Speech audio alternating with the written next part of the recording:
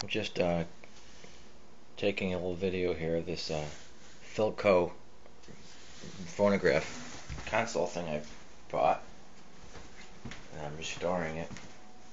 I've already refinished it with the restorer. It looks like really, really good compared to the way it was. Anyhow, I got the uh, the whole unit out of the back. Here's how it looks. Remember that. Turns out I do get FM anything above you know 87 where ours starts now today. So I get 21 to 97 so I get you know Joy and some other stations down in the eight, high 80s and uh, here's the insides of the unit is all the tubes.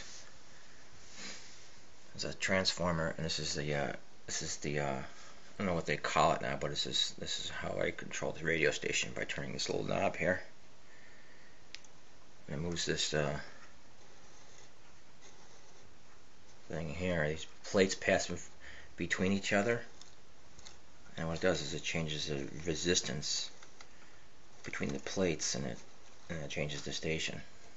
Got this this wire that's wound around all these spools.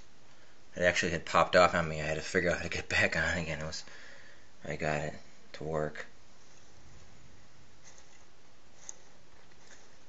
I'm just going to go through and clean it up. I already sprayed this with electric cleaner. It's really clean now compared to the way it was. Just going to take, I'm just going to turn it upside down. I'll show you the other side of it, how, how it looks. I'm going to set this down for a second.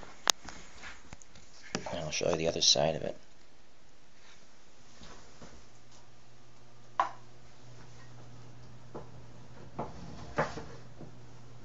It's kind of hard to believe how they made stuff back then. There was no circuit boards, so everything was just soldered together.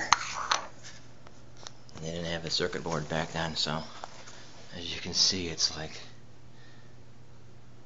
if you wanted to make a circuit board but you didn't know how, you just started soldering things together and how no matter how whatever how big it came out that's how it had a big big you had to make the box I guess to put it all in but it's pretty much a mess but it's yeah, it looks okay.